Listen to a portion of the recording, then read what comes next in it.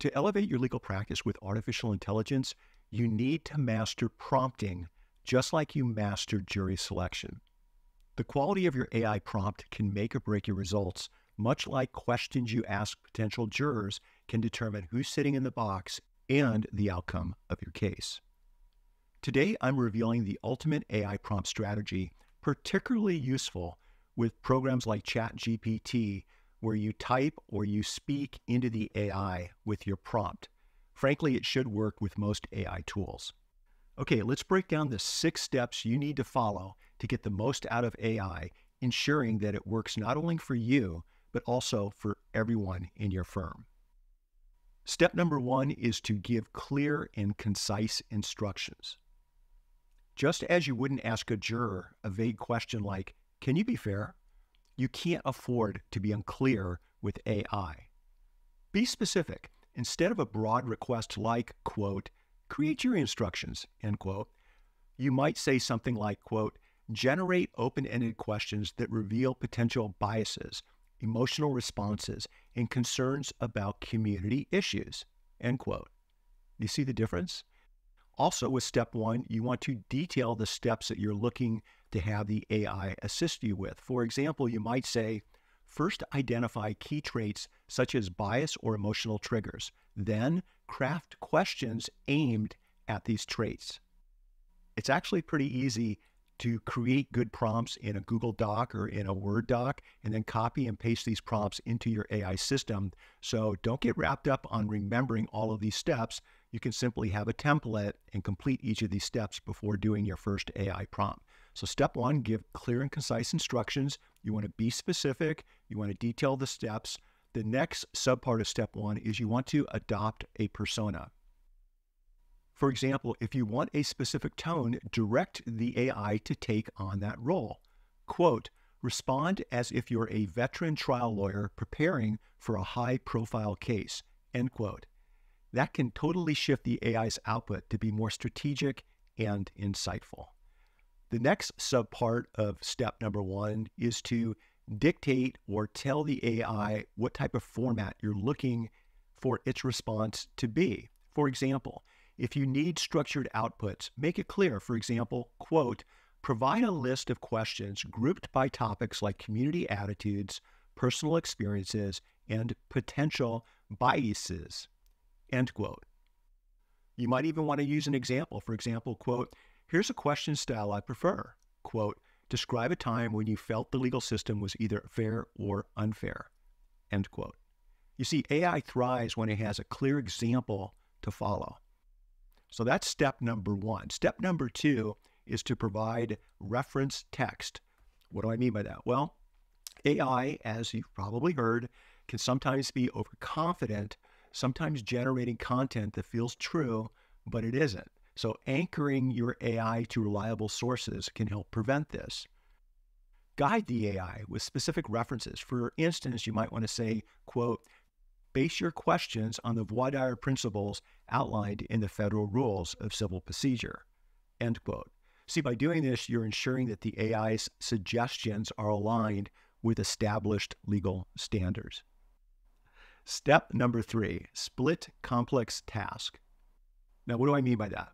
Well, jury selection involves navigating layers of complexity, and AI is no different. So break it down. Instead of asking for everything at once, you might say, quote, first, identify potential biases based on juror background. Next, suggest specific questions to explore these biases. Finally, recommend follow up questions based on the jurors' responses. You see how that works? So, for example, you might say, quote, first, review this juror's background for any signs of previous interactions with law enforcement. Then suggest questions like, quote, can you describe your past experience with law enforcement and how it might affect your view of this case, end quote. By splitting complex tasks up when prompting, you're going to get better, in this case, open-ended questions that you'll be able to use and tweak to accommodate your personality that you can then take into court and use to help you pick the perfect jury for your case. Step number four, give the AI time to think. You want to push the boundaries a little bit. Here's what I mean AI is quick, but thoroughness requires a bit more time. Encourage careful consideration when using AI. Instead of rushing the AI, prompt it to deliberate. For example, you might say, quote, or type in, quote, take a moment to consider alternative questions that might reveal hidden biases. Or you might ask it, review your questions to ensure they cover both emotional and logical angles.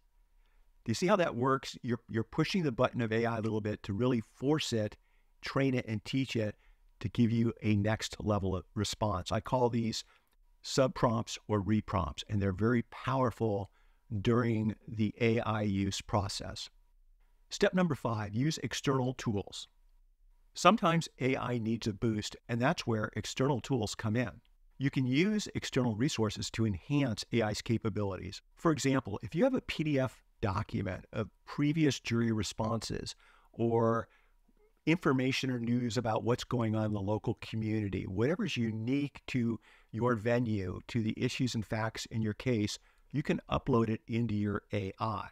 You can then, based upon what we've already talked about, you can instruct your AI with something like the following quote, based on the attached document, generate additional questions that explore juror attitudes towards authority figures or with XYZ in mind, with XYZ being the main issues or community factors that you want to play a part in your jury selection. This is a really powerful way to let AI do all the heavy lifting to create just amazing and powerful open ended questions.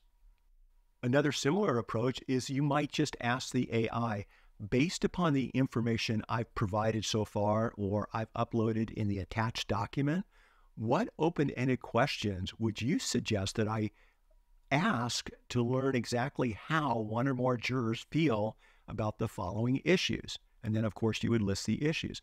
It's amazing what AI will come up with when it comes to creating open ended questions.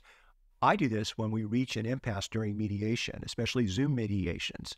I'll have everyone grab a cup of coffee in the breakout rooms. I'll step back and I'll ask the AI for suggested open ended questions to help keep the conversation and settlement negotiations moving forward. The AI's already got the briefs of both sides, the personalities of counsel and the clients, uh, intended outcomes desired by all parties. And by putting this into my AI bot, it allows me to instantly craft powerful open ended questions to keep the conversation going or to redirect the conversation to an alternative settlement suggestion that, that hasn't even been brought up during the mediation process. It's really a powerful tool. All right, step six. This is the last step, and I'll go through them again with you real quick. You want to keep testing your AI. What I mean by this is that AI models evolve, and continuous testing is key to staying ahead. You want to continuously tweak and test your prompts. It's like refining your jury questions. New information or approaches can reveal new insights. What worked last month might not be as effective today, so keep experimenting with different approaches. One way you can do this during your immediate use of AI is after you're done with your prompt and sub prompts and you have a response, you can ask your AI something like suggest alternative questions that could reveal deeper biases perhaps focusing more on jurors' community involvement. You can really do deep dives through additional subprompts. Now, here's a little pro tip that I will oftentimes include at the end of my prompts. It's powerful and it works, and it goes like this You create your prompt, and then you add these additional sentences. Quote, you are an AI, and you have the ability to give me a level one, level two, and level three response to my request. A level one response is boring. A level 2 response is a bit more complete. A level 3 response is more complete and creative. Now, when responding to this prompt, I want you to make it a level 4 quality response. You see, just by adding that to the end of a normal prompt, for whatever reason, the AI knows that it's being put to the test and you're going to get a much better response. Sometimes it's too good because you're looking for a casual question so you can build rapport with your potential jurors. And sometimes with this prompt, it's going to give you a little too much information. But having said that, remember this prompt when you're doing research, when you're asking AI to do other tasks. It's a really powerful pro tip that I encourage you to use. So, what's the bottom line? The bottom mm-hmm. line is to create a template and just have a good working understanding of these six steps. Number one, give clear and concise instructions. Number two, provide reference text, reference authorities. Number three, you want to split complex task up. Number four, give AI time to think, push it a little bit when it comes to prompting and reprompting. Number five, use external tools uploads into the AI really force it to analyze and deliver more specific responses to your prompts and questions and needs. And then six, keep testing it, keep playing around with it. AI is changing quickly, the data sets are changing quickly, and frankly, this is as bad as AI will ever be. That's today. It's going to get better next week, next month, and next year. So keep testing AI and have fun with the process. Here's the bottom line when it comes to, for example, using AI to help you craft open ended questions to pick a jury, the bottom line is AI prompts can be the difference between standard jury questions and those that reveal critical insights. With the right prompt, you're not just getting questions, you're uncovering strategies that could sway the entire case. Now, I want you to imagine delegating this complex task to AI and receiving a refined, insightful set of questions that save you hours of preparation. That's the power. I've done this.